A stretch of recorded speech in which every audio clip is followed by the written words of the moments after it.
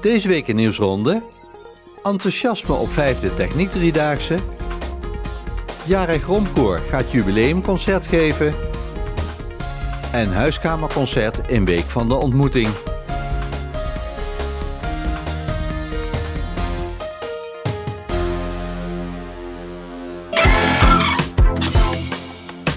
In september 2022 stonden de deuren bij Van Vliet Containers in Alsmeer alweer ruim open voor de vijfde Techniek Driedaagse. Ik ben met techniek bezig. Uh, ik, ben aan, ik ben een ventilatortje aan het maken. Uh, wij proberen om de techniek dichter bij de kinderen te krijgen. En dan met name de groepen 7, 8 en 1 van het voortgezet onderwijs. En wat vindt u van al het enthousiasme van deze mensen en kinderen? Ik zal je vertellen, ik word hier zelf zo ongelooflijk vrolijk van. Wat heb je net gedaan? Boterkaas en eieren gespeeld met een kraan. Zou je later in een techniek willen gaan werken? Ja. Wat zou je dan heel graag willen doen? Machines bouwen. Overal is wel wat leuks te, te, te doen. Maar vooral met je handen, uitdaging, nieuwe dingen ontdekken. Ik vind eigenlijk overal wel wat leuks. Doen? Ik ben een uh, uh, auto aan het uh, programmeren zodat hij in het vak komt. Ehm, ik vind het leuk omdat ik dingen kan zien wat ik later wil doen. Want ik wil met technisch werken. nou, ik heb zelf twee, twee linkerhanden. Mijn vrouw heeft laatst mijn fietslamp vervangen. maar ik heb zelf wel ruim 15 jaar in het onderwijs gewerkt. En ik heb wel de afgelopen jaren gezien dat steeds meer jongeren een technische opleiding kiezen. En dat is denk ik alleen maar een hele goede ontwikkeling, want het bedrijfsleven staat te springen om mensen die, die handig zijn. Je kan bijna zo gek niet meer denken, maar in, in elk bedrijf, fabriek, staat wel een robot. Um, en dat is dus, hier zie je dus een, een bewerking hè, van, van balletjes die die dan heen en weer schuift. Maar dit is een demonstratie. Hier worden gewoon in de praktijk eh, bonbons in een, in een bakje gelegd. En wat vindt u nou van het enthousiasme van de kinderen? Wat ik zie is dat, uh, zeker robotica, omdat het heel veel met computers is, dat de kinderen van tegenwoordig al zijn opgegroeid met computers.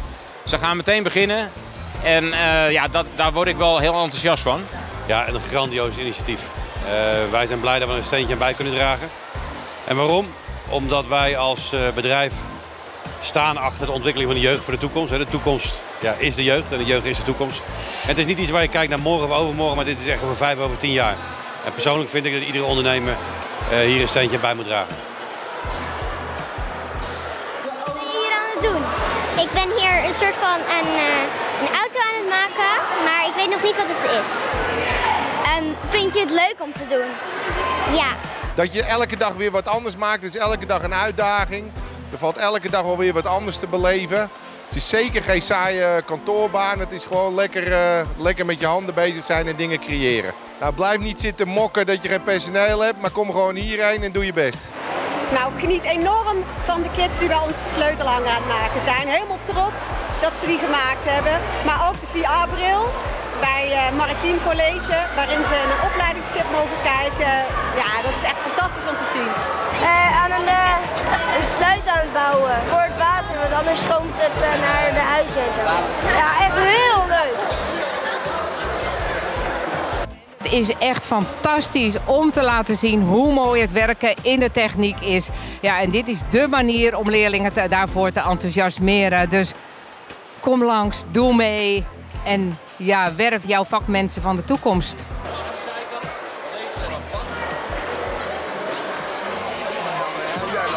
Ik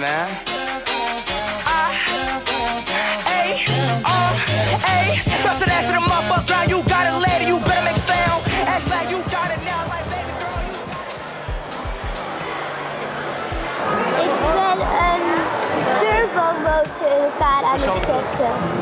Uh, hier binnenin zit een soort van draaiding en die gaat in één seconde duizend keer rond. In de techniek? Daar hebben we er veel te weinig van, dus het zou zo leuk zijn om er nog een aantal bij te krijgen. Wat heb je gedaan nu? Ik heb al in een uh, vrachtwagen gezeten. Ik heb de motor van een auto gemaakt. En ik heb uh, met een VR-bril heb ik een auto ehm, geschilderd. Wij doen nu voor het vijfde jaar mee. En ik nodig iedere ondernemer uit om mee te doen. Want alleen de opbouw en samenwerken met alle ondernemers onder elkaar, dat geeft een band. Dat is heel goed voor je netwerk. En de twinkel in de ogen van de kinderen als ze een workshop doen. En als ze komen kijken, je hoort zulke leuke verhalen. Dus ik zeg, doe mee. Iedereen heeft het naar zijn zin. En als je 195 vrijwilligers zo ziet bezig zijn, met bijna 4000 jongeren, dan, eh, ja, dan gaat je hart open. Dat is mooi. Echt mooi. Als iedereen hier naartoe komen, zou leuk zijn, want het is echt geweldig.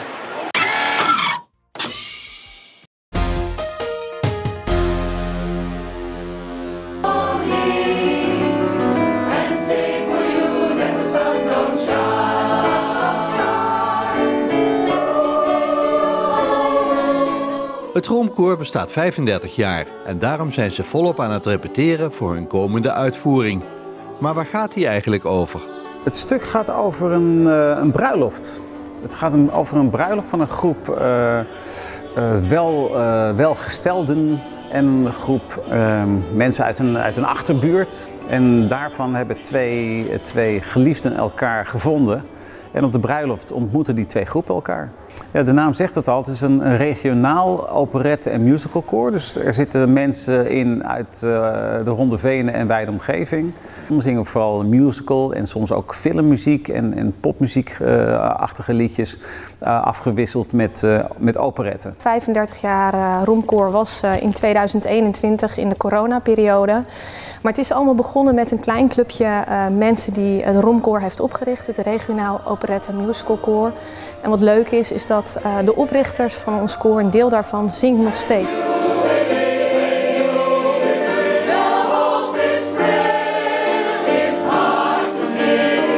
We hebben veel verschillende dingen gedaan uh, in de historie van het Romkoor. In de begintijd waren dat regelmatig, regelmatig operettes.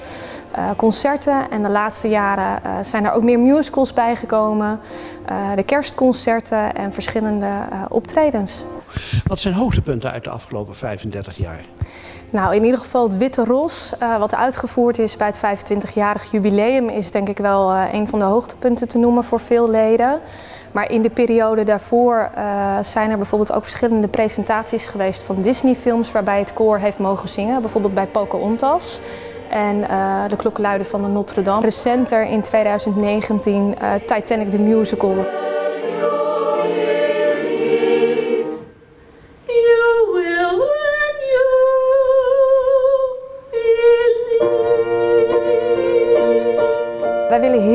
Weer een nieuwe grote productie gaan doen à la Titanic the Musical.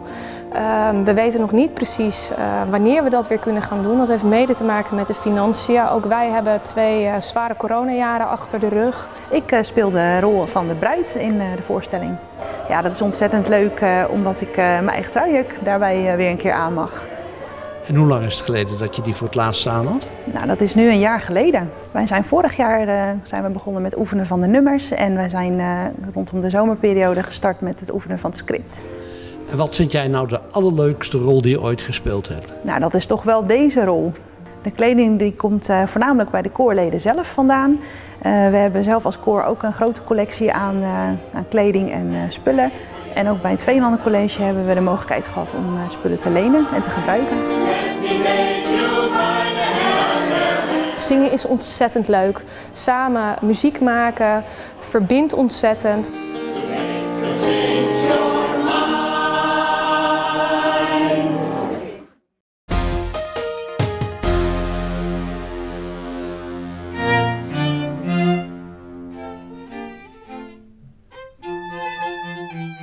In het kader van de Week van de Ontmoeting is er vandaag een concert. Uh, het is het combo en het is een onderdeel van het uh, educatieve commissie van de uh, Utrechtse studentenconcert. En dat is viool, viool, altviool, cello. Het doel van dit concert, het is in de Week van de Ontmoeting, Week van de Eenzaamheid. En het doel was eigenlijk om mensen bij elkaar te krijgen. En onder het genot van mooie muziek en een drankje in gesprek met elkaar te raken. Maar ik hoop dat het een aanzet is om meer bij elkaar te gaan komen en minder thuis te blijven zitten nu het niet meer hoeft.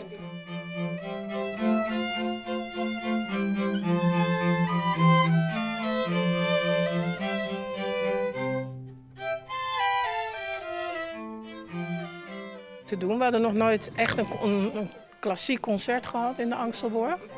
En ik dacht, nou, dit is de ideale gelegenheid. Dus ik heel blij mee dat de dames het gewoon zijn komen doen. Ik vind het nog toe erg mooi, ja. Ja, ja het voldoet aan mijn eisen wat ik er uh, verwacht had, ja. Ik vind het wel eens leuk als er zo'n brom, zo'n drumstel bij zit, altijd zoveel lawaai. Ik vind dit eventjes, als je zo rustig ontspannen, vind ik het heel ontspannen overkomen, ja.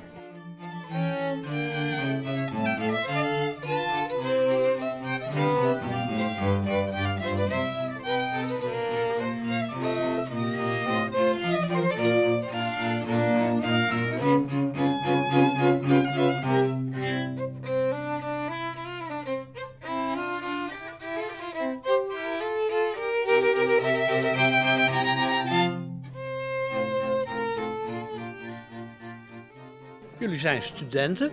Maar wat studeren jullie? Uh, van alles en nog wat. Ik studeer zelf uh, medicijnontwikkeling. Janne, de cellist, studeert farmacie. Um, ja, van de rest, Mike studeert volgens mij psychologie. Anne die is nu uh, juf op de basisschool. Er zitten een paar mensen van het conservatorium in ons orkest. Maar het idee is dat wij een amateurorkest zijn met studenten die het gewoon naast hun studie doen.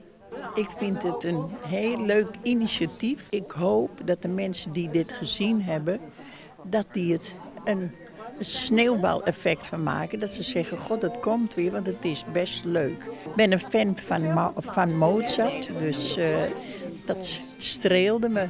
Maar ik vind het wel heel mooi gedaan.